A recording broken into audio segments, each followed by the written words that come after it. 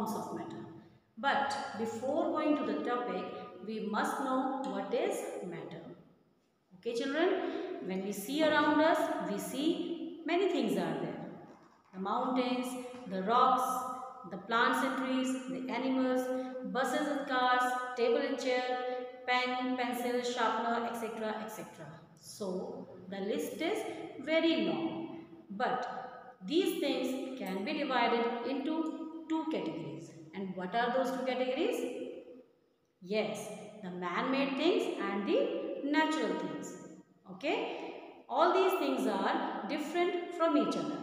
But something is common in them. Do you know what is common in them? Yes, they occupy space and has some mass. All the things which are present on this earth occupy space and has some mass and all of these things are made up of matter. Okay students, so what is matter?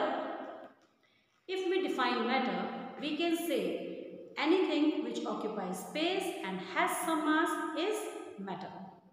But we can make it more simple as anything which we can see, we feel, we smell or we can touch.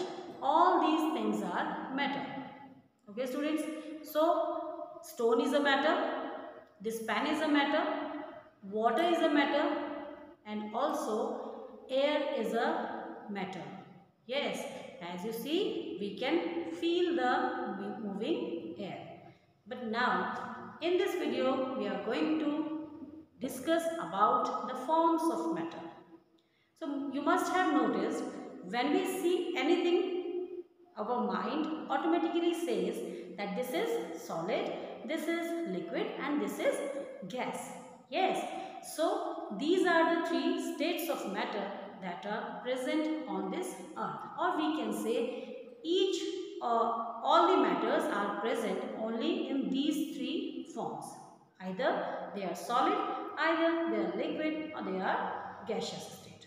Okay? And today we are going to compare these three forms of states, solids, liquids and gases on the basis of their properties. Okay? And what are these properties? The first one is their shape and volume. The second one is compressibility. And the third one is either they flow or not.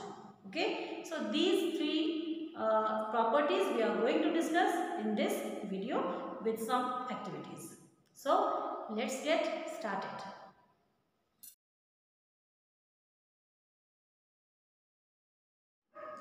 So students, we are going to discuss about the solids, liquids and gases on the basis of their properties like shape, volume, compressible or not, can flow or not. Okay, let us go through some examples. This is a wooden block. And it is an example of solid. Okay, so students, it has a fixed shape. You can see it is a rectangular block. Okay? And its volume is also fixed. Yes? First of all shape. If I keep it anywhere it remains the same. Okay? Either it is kept in a bowl either it is kept in a box its shape remains the same it means it has fixed shape Okay. Now the volume. Volume means the space occupied by an object is volume. So, it occupies the same space in each container. Okay. Either you keep it in a bowl, in a box or anywhere, it occupies the same space. It means that solids have fixed volume too. Okay. The next property compressible or not. So students if I try to compress it, oh it is not possible. So compressible means I am not able to compress this wooden block. So it is not compressible. Okay. Next is can flow. Have you ever seen any solid thing flowing like water or air? No. So solids cannot flow. Okay. Solids cannot flow. So we'll write here the first one. Shape. Yes. It has fixed shape. Volume. It has Compressible? No. Solids are not compressible. Can flow or not? No. Solids do not flow. Okay. The next is liquids. Now we will take examples of liquid. The water in this bottle is liquid.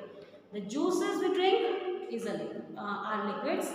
Uh, the blood flowing in your body, in your body is also a liquid. The oil, etc., etc. There are many more examples. You can find them.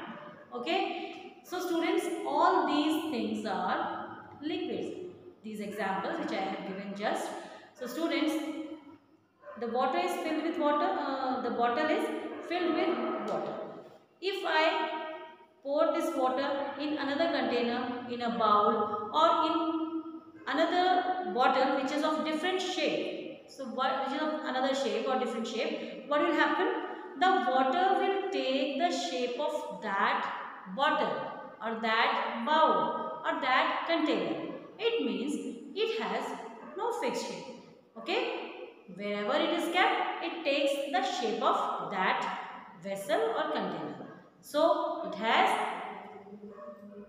fixed shape or not? No, it doesn't have fixed shape or we can say liquids do not have fixed shape. Second is uh, volume. Volume is the space occupied by what uh, any object is volume as I told you. So, this water will occupy the same space in another container or the vessel too. It means that the volume of liquid is fixed.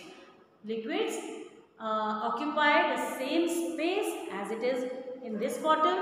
If it is uh, 1 liter, it takes the space of 1 liter in another vessel 2. The next is compressible or not. If I compress this bottle or squeeze this bottle, I am not uh, squeezing the water.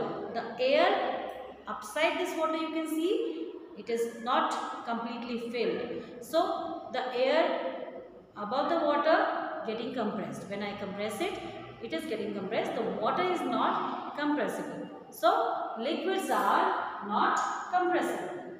The next is can flow or not. So students, liquids can flow. Okay. They flow from a higher level to a lower level. So we'll write here yes. Okay. Here shape is fixed, not fixed. In liquids, volume is fixed. Shape is not fixed, volume is fixed. Compressible? No. Can they flow? Yes, they can flow from a higher level to a lower level. Okay. The next is gases. So students, the air around us is a gas as we can feel the air. Okay. So we'll take an example of this balloon. Can you tell me what is inside this balloon? Yes, there is air inside this balloon okay and as uh, you must have seen different uh, shapes of different uh, balloons of different shapes and the air is filled inside them means the air has not fixed shape gases do not have fixed shape yes so here we write not fixed the shape of gases again uh, not fixed. Okay. The next is volume. Volume, uh, if I try to fill this balloon, uh, if I try to fill more air in this balloon, yes. Means the volume of gases is also not fixed as gas can spread all over. Okay. The small bottle of perfume is kept in small bottle yes the perfume is kept in small bottle but when we uh, the when it spreads as gas in the atmosphere it spreads all over yes so the volume of gas is not fixed. So right here not fixed. Okay? Compressible or not? As you can see here i am able to compress this gas easily. So the gases are highly compressible. Okay? So right here yes gases are highly compressible. The last one is can flow or not. So students when any incense stick is burnt in a room.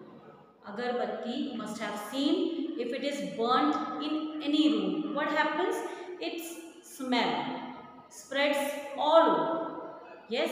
So means that gas is flowing in all the directions. In each corner of the room you can smell uh, that incense stick.